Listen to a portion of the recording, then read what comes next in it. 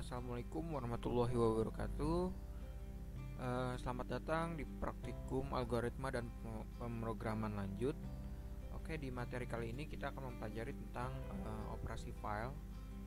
Eh, mungkin kita langsung aja. Eh, apa sih eh, operasi file itu? Nah, operasi file di sini tuh maksudnya eh, sebagai penyimpanan data eksternal yang bersifat permanen. Terus eh, operasi-operasi file terhadap file ini tuh berkaitan dengan input dan juga output serta hal lain seperti mengecek keberadaan suatu file, ukuran file dan lain-lain. Nah, contoh program ini menggunakan header fstream. Nah, eh, untuk membuka file, nah kita eh, bisa menggunakan eh, namanya offstream atau nama objek. Nah, jadi sebelum suatu file dapat diproses, uh, file harus dibuka terlebih dahulu. Nah, sebelum file dibuka, terlebih dahulu objek file harus didefinisikan seperti ini. Offstream nama objek. Nah, perintah offstream ini dapat dijalankan dengan menyertakan file file header fstream.h seperti yang tadi. Terus uh, setelah itu suatu file dapat dibuka dengan perintah nama objek open nama file. Jadi uh, kita bikin dulu uh, filenya terus habis itu baru kita buka. Habis itu kita uh, ingin menulis ke dalam filenya. Nah caranya nama underscore objek terus uh, tinggal kita masukin nih di titik-titik ini. Nah uh, ada juga untuk uh, menutup file. Jadi setelah kita uh, udah bikin filenya, udah kita buka filenya, udah kita tulis filenya, nah kita tutup filenya pakai nama objek titik close. Oke, kita lanjut. Nah, uh, ini ada uh, sintak-sintaknya kayak iOS in ini untuk uh, membuka file untuk operasi input, yang out ini untuk membuka file operasi output, binary untuk membuka file operasi baca dan tulis dalam biner, AT ini mengatur posisi awal pointer file pada akhir file. Jadi eh, posisi pointer tidak diatur atau ditetapkan. Posisi awalnya adalah di awal file. Ada juga eh, app untuk menambahkan data pada suatu file. Data ditambahkan di akhir file sehingga data sebelumnya pada file yang sama tidak hilang. Jika file yang dimaksud tidak ditemukan, maka program akan membuat file baru. Terus ada trunk jika file digunakan untuk operasi output dan file telah ada sebelumnya, konten sebelumnya akan dihapus dan digantikan dengan yang baru.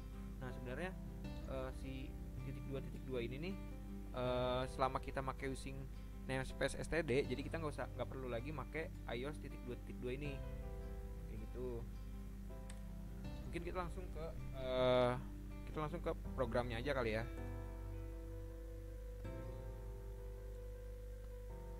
Nah di sini ada programnya yaitu kita menggunakan header iostream seperti biasa dan include conio.h habis itu Uh, karena kita untuk operasi file kita menggunakan header fstream ini pakai ini. Terus kita menggunakan using namespace std terus di fungsi utamanya ada offstream file keluaran. Nah uh, berarti kan ini uh, kita mau uh, bikin uh, filenya. File keluaran open. Nah ini kita buka kita buka dengan nama aku.txt oke? Nah habis itu kita tampilkan kayak uh, sedang merekam gitu. Nah di sini file keluaran. Halo. Nah di sini tuh maksud file keluaran di sini kita lagi nulis uh, apa sih yang ada di dalam uh, si file aku.txt ini terus um, kita masukin ini adalah saya Fauzan. Habis itu kita tutup filenya. Kita run nih. Nah jadi ini kita, kita udah kita run. Terus kita langsung buka. Nah ini tuh uh, jadi kayak langsung ngebuat filenya gitu. Nah. Jadi ini hasil outputnya jadi dia langsung ngebuat si filenya. Kan ini nggak ada nih. Sekarang. Nah dia langsung ngebikin si filenya dan inputannya sama seperti ini. Kayak gitu. Nah kita lanjut ke if stream.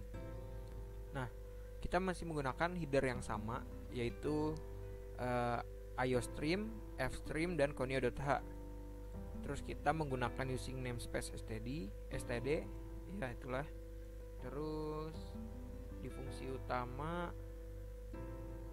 kita uh, ada cons in dengan maksimal sama dengan 80 terus di sini ada char buffer. Nah buffer di sini tuh untuk penyimpanan sementara ketika kita memindahkan uh, file dari satu ke tempat yang lainnya gitu terus di sini ada if stream yaitu untuk melihat uh, di dalam file.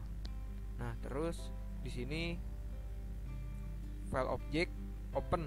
Nah ini kita buka nih uh, si aku.txt nya terus kita nampilin uh, membaca isi file aku.txt habis itu uh, while file object file object get line uh, buffer max nah si out buffer. Kita langsung uh, di run aja ya. Nah. Membaca file aku.txt ini kan keluar. Nah di halo ini adalah saya Fauzan. Ini adalah isi file dari aku.txt jadi uh, langsung nge ngeliat isi dari uh, dalam file yang udah kita buat nah nanti dia langsung nongol di uh, eh, CMD-nya. Oh, uh, gimana kalau misalkan si isi dari uh, filenya nggak ada? Ya kalau nggak ada berarti dia nggak akan nongol di dalam teksnya yang nggak ada apa-apa kayak gitu. Mungkin hmm, untuk materi operasi file ya mungkin untuk operasi file uh, segitu aja. Uh, bila ada yang ingin ditanyakan mungkin bisa ditanyakan pada kakak-kakak aspraknya atau mungkin bisa komen di bawah. Uh, mungkin segitu aja dari saya. Kurang lebihnya mohon maaf. Wassalamualaikum warahmatullahi wabarakatuh